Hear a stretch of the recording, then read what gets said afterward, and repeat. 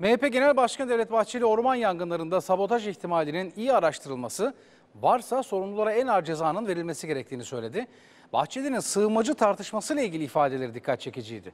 Bahçeli düzensiz göç adı konulmamış bir istiladır, ülkelerine geri gönderilmelerinden yanayız dedi. Milliyetçi Hareket Partisi Genel Başkanı Devlet Bahçeli orman yangınlarında sabotaj ihtimalinin üzerine kararlılıkla gidilmesi gerektiğini söyledi. Sadece ormanlar değil yüreğimiz de yandı. Sabotaj ihtimalinin üzerine kararlıca gidilmelidir. Ormanlarımızı yakanlar en ağır şekilde, en acımasız biçimde cezalandırılmalıdır. Orman yakmakla insan canına kıymak aynıdır.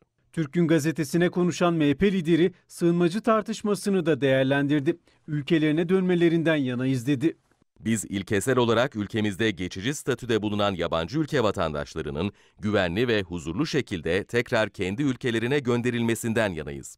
Gettolaşmaya, şiddet olaylarının yayılmasına müsaade edilmemelidir.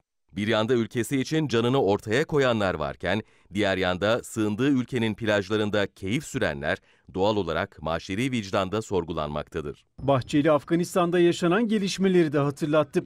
Taliban tehdidi yüzünden ülkelerinden kaçan Afgan mültecilerin Türkiye için risk ve tehdit olacağını söyledi.